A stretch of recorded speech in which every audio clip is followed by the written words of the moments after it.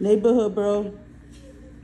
What's going on? Hey, Adam 22. Let's uh, let's let's let's just keep it like this. Let's keep it 55th straight. You know, let's keep it cool, but let's definitely keep it 55th straight.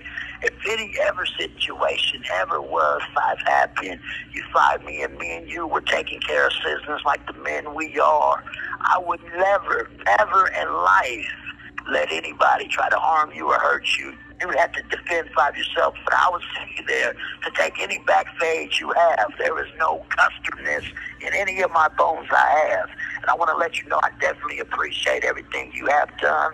Knowing you up five, a few years, uh, the interviews we've done, the CMX, uh, psych writing we've done. We've done a lot. And we've done, um, also, we've done a few community events. Hey, We've done a lot we've been working real well. And when I definitely finally do come home, we're going to work and make some more stuff. Most definitely happen. Hey, uh, I definitely enjoy the No Jumper podcast and all the great stuff you're doing.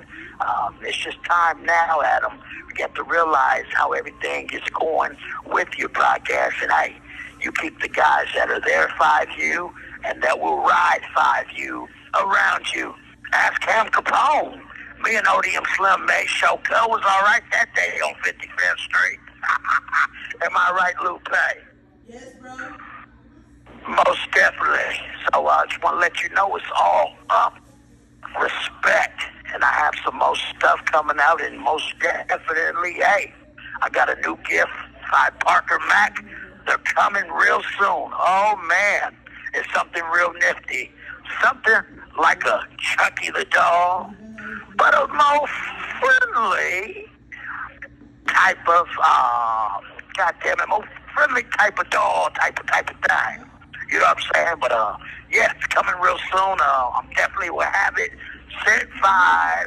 Your PO box, so I'll have it sent up five. You, you definitely get it. Just want to let you know, hey, we're definitely on good terms. We're gonna make a lot of stuff happen. Hey, I'm not taking nobody's side, Adam.